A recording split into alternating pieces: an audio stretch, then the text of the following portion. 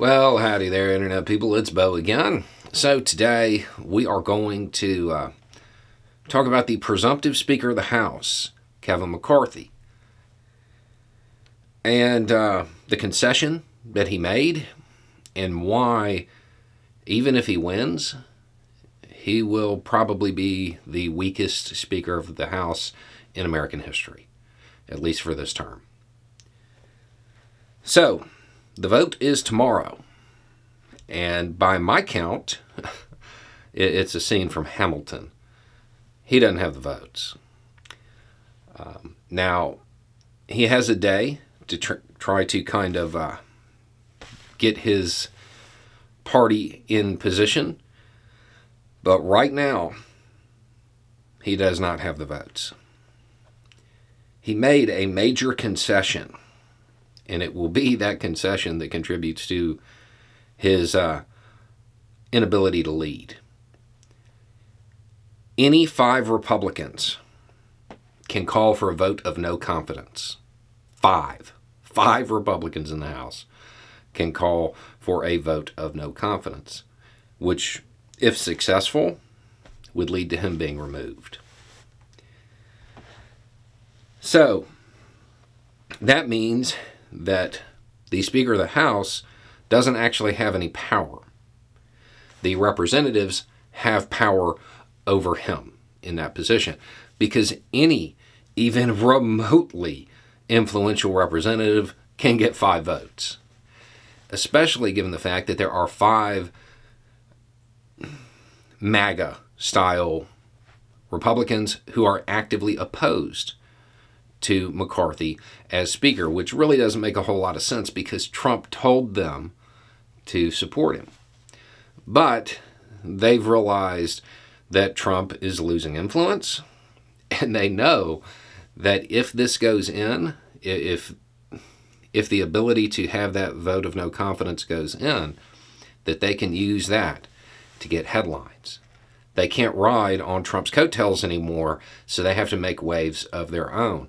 And this will be a way for them to establish themselves as the MAGA, MAGA candidate. Kevin McCarthy, he's a leftist. It's coming. Or a RINO. Um, they, you've already got a number of them saying that he doesn't believe in anything. He has no ideological basis. Which, I mean, maybe that's true. I've never met the guy.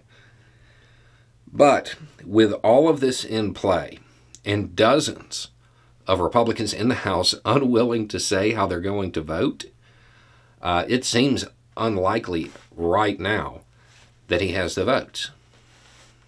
Maybe he can, uh, maybe he can pull them in. But even if he does, with the division within the Republican Party, with the habit of Republicans in the House wanting to create a circus to get headlines, to get social media clicks, which they, for whatever reason, after all of these failures, still believe translate into votes. He's gonna he's gonna be a disaster. The House is gonna be just a giant mess.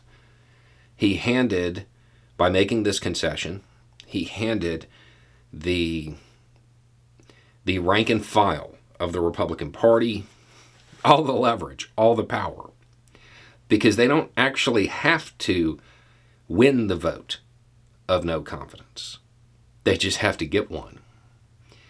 And every time they do, his political future falls a little bit further. Um, so it, it appears that even if McCarthy does somehow manage to pull this off and become Speaker of the House, there's no power. He won't be able to lead.